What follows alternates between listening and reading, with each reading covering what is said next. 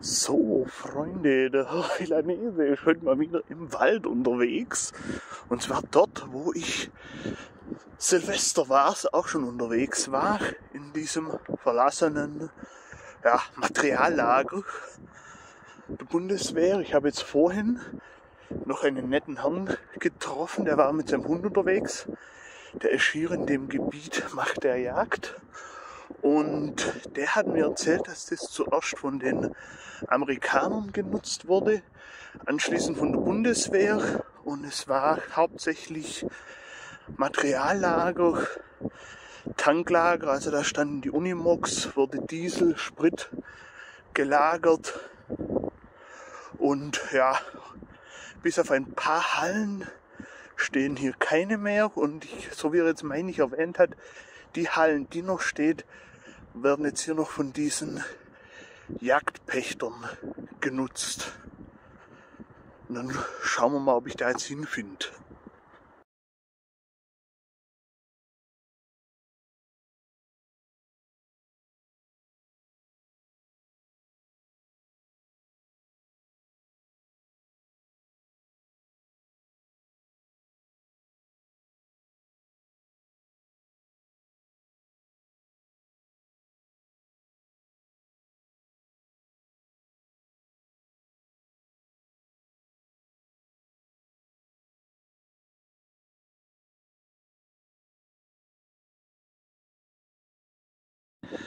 Ja, guckt mal, da oben steht was. Da oben steht was. Da steht noch was rum. Aber wie gesagt, nachdem er sagte, wird, wird doch aktiv von den Jägern hier genutzt, dann ist es in dem Sinne auch nicht mehr lost, weil aktive Nutzung ist quasi das Ausschlusskriterium eines Lost Places.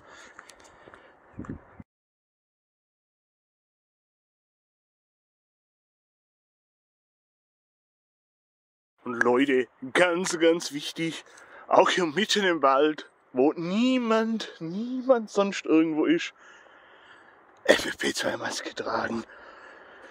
Hier steht's auch extra nochmal drauf. Instruktur, irgendwas. Ach hier, Hygienekonzept. Datum 11.20, okay. Ah, ich vermute mal, die haben hier Holz gemacht die haben hier Holz gemacht und weil das auf Rumänisch und Deutsch dran steht, vermute ich, dass das dann Rumänen gemacht haben. Hier haben wir die Halle 39 mit, wie heißt der Typen? Tentakel. mit Taradeus Tentakel. Der natürlich seine Good Vibes verbreitet. Ja, was? Mick, Mixi, Mixi, Zor, Zorni, der Chef, der Chef war da. Pietz, Pietz, Pick, Pick, oh, Pick. Okay. Ach, und ich glaube, da oben sind da wie so Nistkästen für die Vögel. Ah, ja. Oh, und hier haben wir noch einen Pfiff. Hier haben wir noch einen richtig krassen Pfiff. ja, aber ihr seht, dicht zu. Sehr gut. Sehr gut aufgehoben. Oh, oh, oh, hier haben wir noch eine Tonne. Hier haben wir noch eine Tonne. Leute, ich habe eine Tonne entdeckt. Ich habe die Tonne entdeckt. Yeah.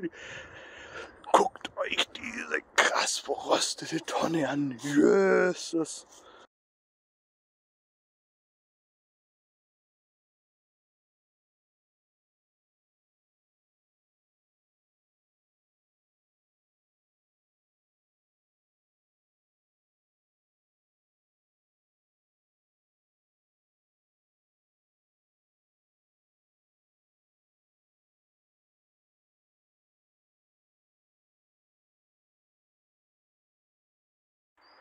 So, hier steht noch die Halle 40.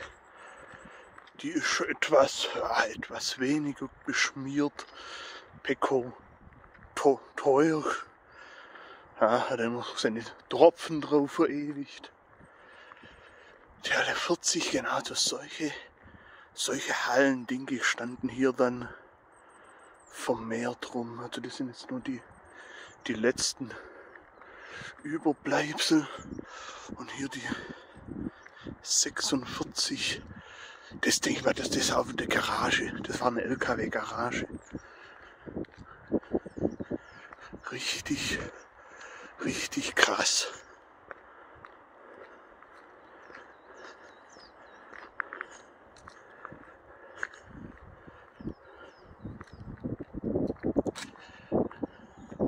Ja, genau, also wie gesagt, erst von den Amis errichtet, dann von der Bundeswehr genutzt.